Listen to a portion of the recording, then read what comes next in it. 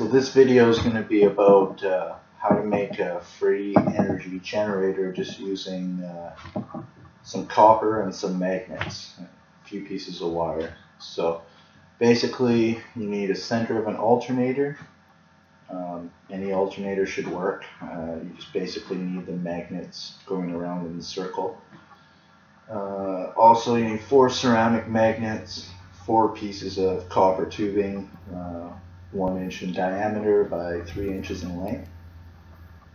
You start by putting the center of the alternator in the center and placing the four magnets. Uh, each has to be opposite polarity. Um, to do this, just kind of hold the magnets together and make sure that they are repelling and not attracting.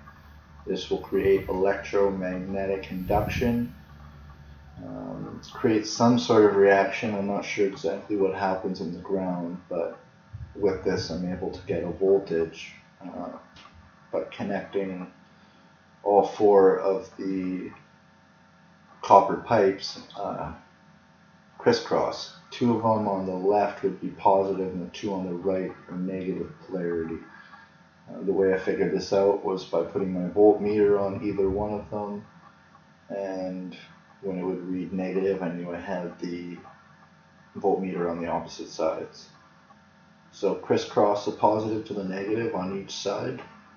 Um, it should create some sort of grid. I'm not sure exactly how it works. I thought this would ground it, but apparently it doesn't. Uh, the reason I started messing with all this is basically if you take a, a voltmeter and you stick it in the ground, uh, positive and negative, and you just stick them in the ground to get a voltage. I've watched a lot of videos on YouTube about Nikola Tesla and uh, the Michael Tellinger energy circles, and it interested me how these people were able to get raw energy out of the ground. So I started messing around with this. Um, got no idea of the science behind it or how it works, but so let's get to the testing. Uh, I realize the sun's on the voltmeter, so I'll slow it down. You can see I'm pulling about 19.69, 19.7 volts.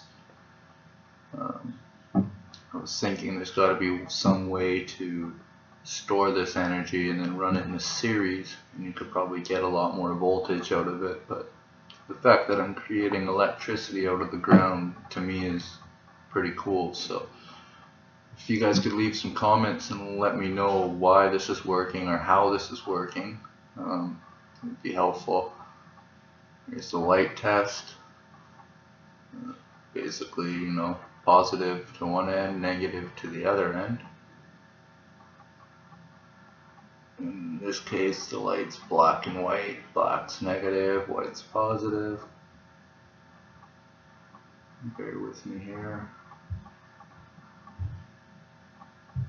it works eventually. There we go. So we got some flickering.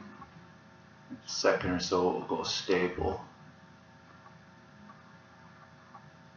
Mm, there we go. Okay, we got good steady light. So there's the light test. Voltage is at 19.73. Light's still on.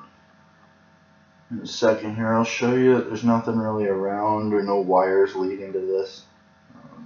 I'm not really into bullshitting. I wasted a lot of time messing with this free energy stuff to bullshit. As you can see, I just converted my whole house to solar. I got 6 kilowatt panels on my roof. So there is nothing under here. It's just a styrofoam box I used for when I just did my roof to store water in. The extension cord over here is what I was charging my phone with to record this video throw it out of the way just so you guys see that that's not what's powering this. Light's still on. Let's get this cord out of the way. Fuck you, cord. Gone. Okay, and one last look here to show the light's still working. And pow. In my next video, I'll uh, do a run through of my 6 kilowatt grid tied solar system. Show you guys exactly how it works.